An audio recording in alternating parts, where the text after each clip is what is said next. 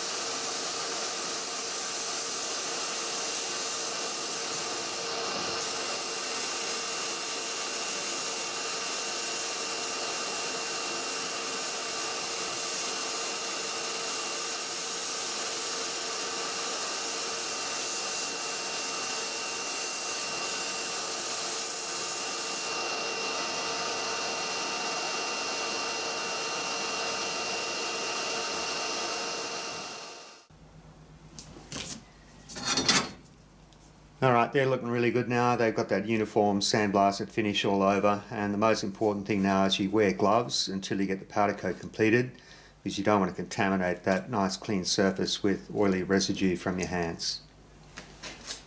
Now that these parts are clean from the sandblasting process, we need to get the powder coat on as quickly as possible so there's no corrosion. And I had to think really carefully here about how I was going to get this part into my powder coat oven because it's just a standard domestic 600 millimeter wide oven and the length of the part is such that it only just fits between the edge of the door and the back diagonal corner of the oven cavity. And it's not possible to hang this part vertically from any of these holes in this bracket here and laying it flat on anything is going to leave a mark in the powder coat. So what I have done is I've drilled a hole in this end of the leg here. Now I did that on all three parts in the drill press with a spot drill. That'll be hidden, you won't see it later on.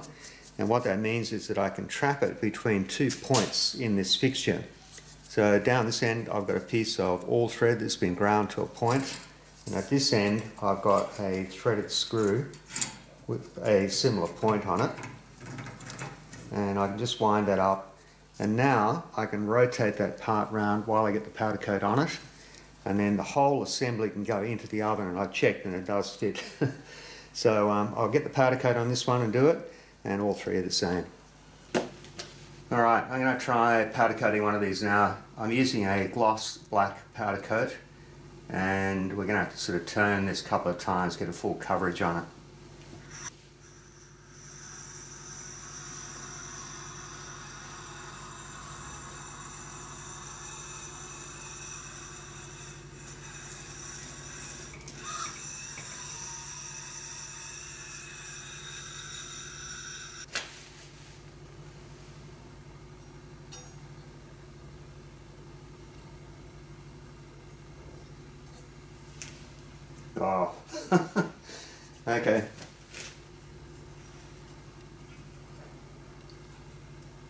that's easier.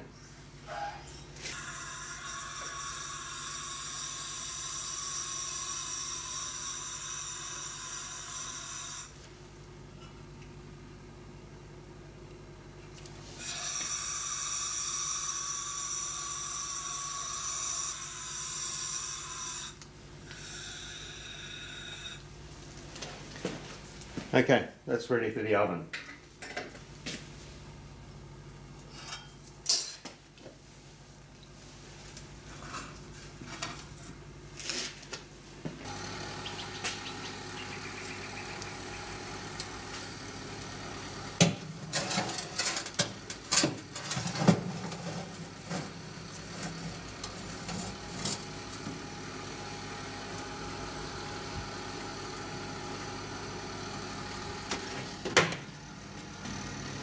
All right, uh, problem here is I've only got the one oven, only got the one fixture, so I'm going to have to take the part out of the oven and let it cool down a bit before I can change over the parts in the fixture and then put it back in the oven. So normally I would just hang a whole bunch of parts all in one go, but with this setup I'm just going to be a bit more patient.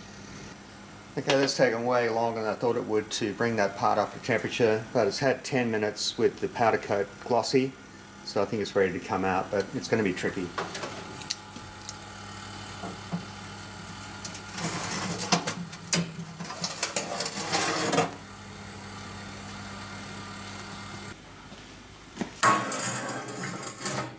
Okay, that was fairly trouble free, but I need to let that cool down now before I can swap out the parts in the fixture. But uh, I won't show you the other two, they're all the same. I'm just getting ready to put the fake laminate top on this table. Now back in the mid-century modern period, a lot of these tables were finished with a product either called Formica or here in Australia it was called Laminex. Now it's all basically the same thing, it's just a melamine sandwich and the coatings and the colors on these uh, laminates were very distinctive back in that period. And the patterns uh, are really, really hard to get these days because they're just regarded as being old fashioned.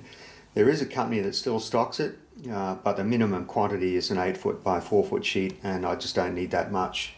So, what I'm going to do is to use a wallpaper. Now, this particular pattern and colour is exactly the same as the fabric used on the lampshades in the same room and we purchased this from a company called spoonflower.com. They've got a website and you can scroll through all of their designs and you can filter them by period. So if you want Art Deco or Art Nouveau, you just put that in the search box and it'll pull up all the different patterns. And there are even different color combinations with exactly the same pattern.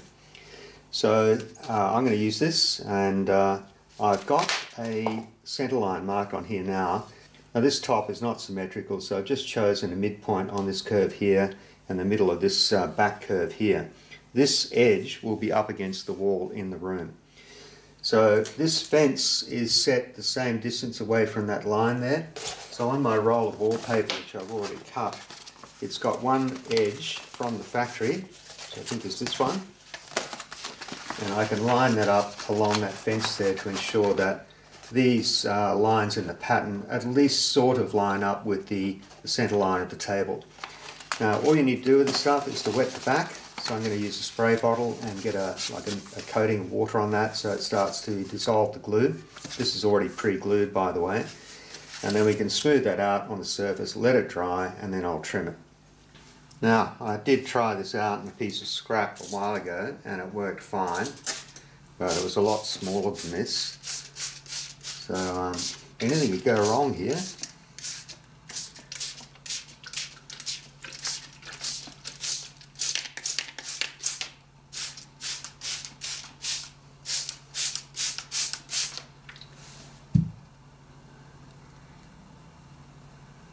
Now the instructions say to moisten the whole of the back of the sheet with a roller, but this being an awkward shape and yeah, I, I think this is the best way.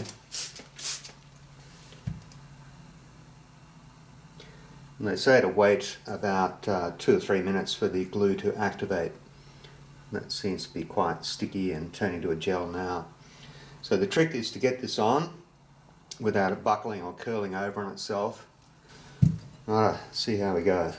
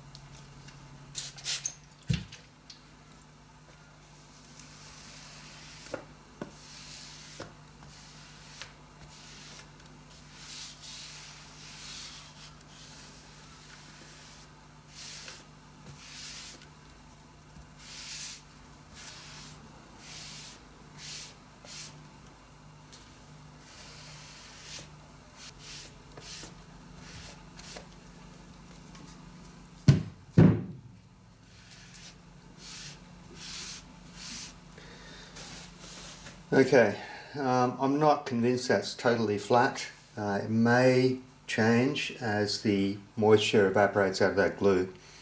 So we're just going to leave this. I might trim this roughly to shape so I don't have all these flappy bits on the outside though.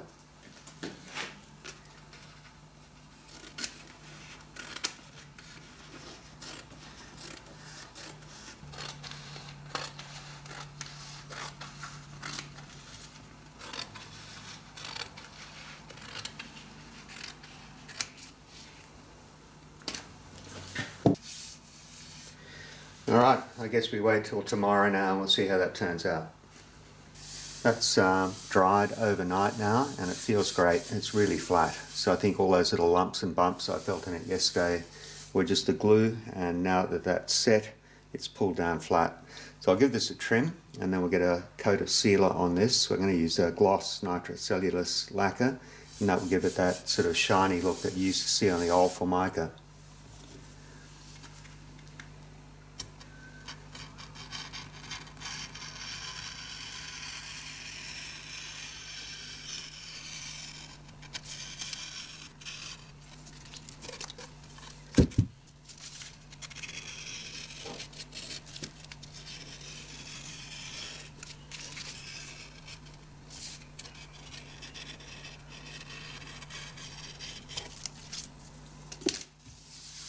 Alright, that's great.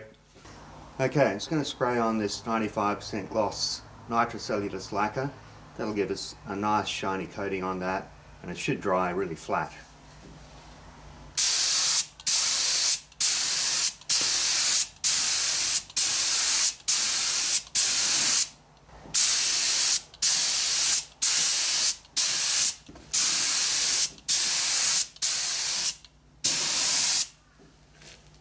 Sort of got to get the light shining off it to see if you've got full coverage. I think that's pretty good. I'll let that dry a bit and then we'll come back and give it a slightly heavier coat.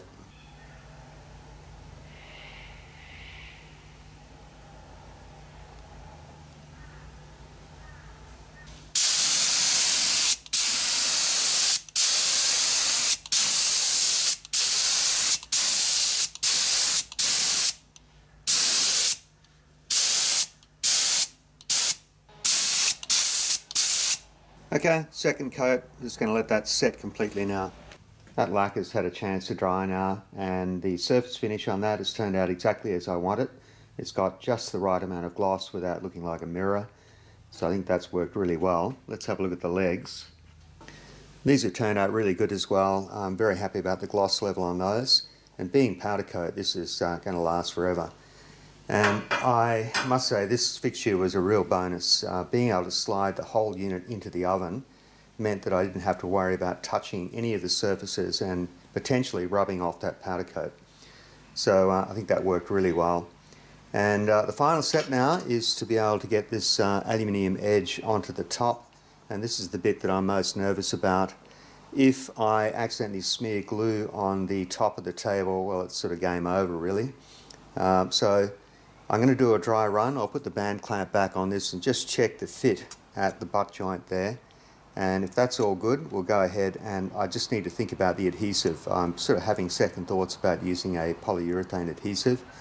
But uh, let me do the dry run I'll bring you back. Hey, got a new sticker. This one is from Nobby's Workshop.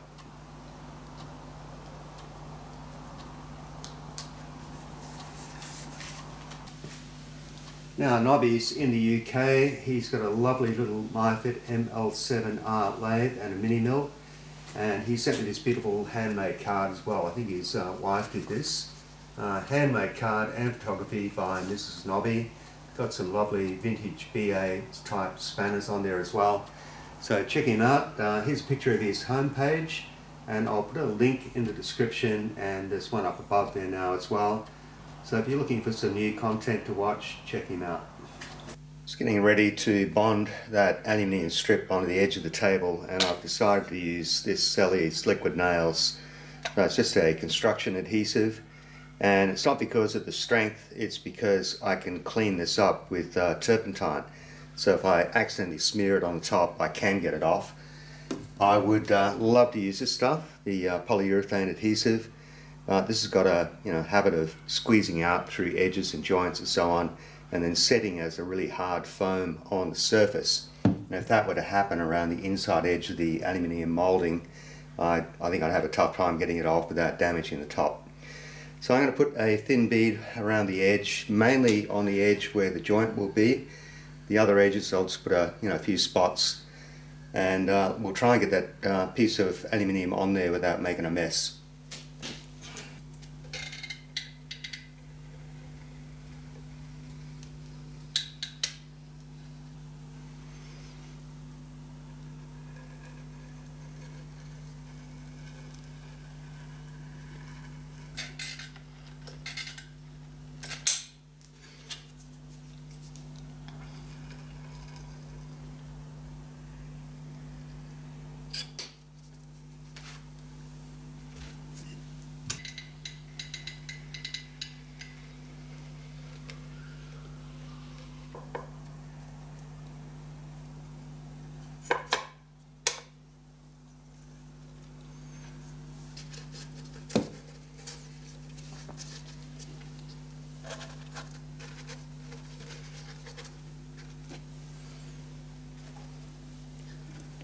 So this uh, piece of rubber is just to protect the aluminium strip here from the back of the clamp.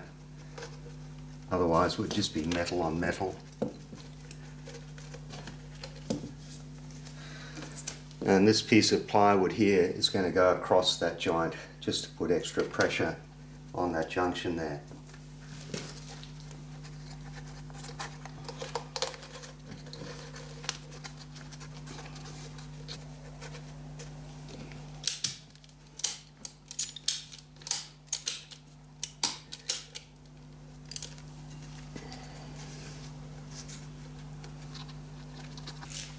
Okay, that's about as tight as I can get that. Sorry I didn't get it on camera. Uh, what I'll do now is it's going to go around underneath there. I did actually get some to squeeze out onto my hand. so I've got to be really careful to clean up before I touch this. It seems like the joint has gone together really well here. So I'm going to leave this sit overnight and then we'll come back and check it tomorrow and we should be able to do the assembly.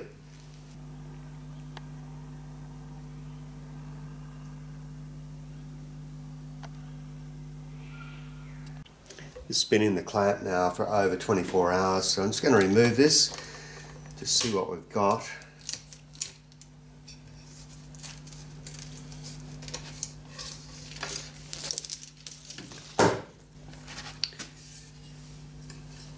Yeah, got a little bit of glue squeezed out here, so I'm going to get a grey Scotch-Brite. I'm going to go around and clean all this up, and then we'll get the legs on and see what it's like assembled. The butt joint here has turned out pretty good. Happy with that. Yeah, it's all looking pretty good. Alrighty, I'm going to get this cleaned up and we'll see it assembled.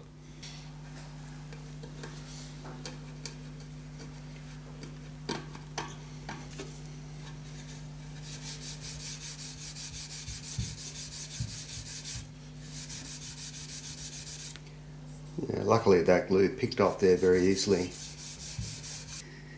may not be very clear on the camera, but there is a bit of damage on the surface of this material.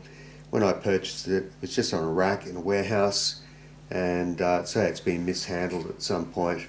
But I'll keep going with the Scotch-Brite Cratex, see if I can get that a more uniform finish.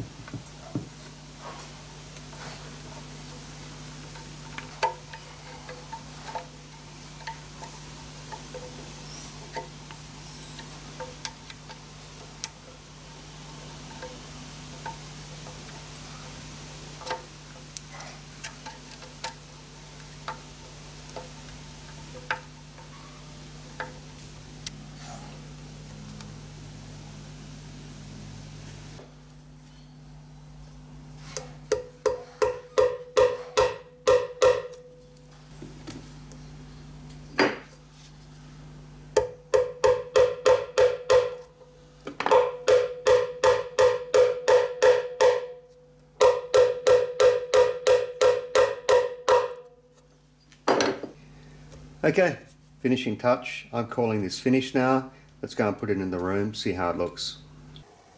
Okay, let's just go on a little walk into the corner of the room here, and this is where we have the table set up. And as you can see, it just fills the space between these two armchairs. And I've got the lava lamp set up and running on the table as well. And it just nicely fills the space between these two chairs. And there's not a lot of room here. And if we tried to use a square or a rectangular table between these two chairs, I just don't think it was going to fit. Now I've got a new clock on the wall above that, so let's have a look. Now I bought this clock from a company in the UK called Royal Enamel and the reason I bought it rather than trying to make it myself is it has a proper glass face and a bezel so the hands are fully enclosed and it's just a lovely colour and I love the, the numbering system or the numbered font that they've used on the face of the clock. Now later on I'll turn this into a full starburst clock that means adding some wooden points around the outside of the clock face itself. But that will be a future project. I've got just enough wood left over from making the bed head. So let's have a look at the bed head. Uh, there it is there and I've got the rocket lamp set up and all of this was covered in a previous couple of episodes that I did uh, on furniture making. Now I've got some new artwork on the wall above there as well and this corner of the room here is inappropriate. so this silky oak dressing table is from a, a, former era or previous era. It's more Victorian style. And what I want to do is replace this later on with something like a Parker Lowboy if I can find a good one. Even if I have to renovate it, that'll be fine.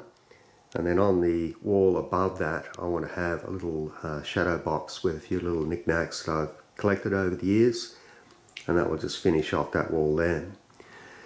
So that's it, that's the table finished. I reckon it looks great. And uh, what I want to do now is I want to finish up. I want to show you some of the wildflowers that are in our garden at present. So in Australia, about this time of year, uh, sort of late winter, all of the native shrubs come out in this uh, beautiful display of flowers. So I'll have a look around, I'll tell you which species we're looking at. But for now, thanks for watching today, and I'll catch you on a future episode. Prezzo signing out. Cheers.